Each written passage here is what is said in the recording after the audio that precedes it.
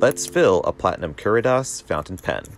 Unscrew the barrel counterclockwise to reveal the inner pen mechanism. Release the slide lock tab to remove the mechanism. Don't remove the spring.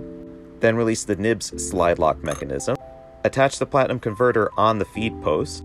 Get yourself a bottle of ink. Submerge the nib all the way into the ink and screw the piston knob clockwise to retract the plunger and fill the converter with ink. Wipe off any excess ink on the nib. Now we reassemble the pen. Slide the mechanism back on and then lock it in place. Then slide the entire nib unit back into the front section of the pen and then lock it in place.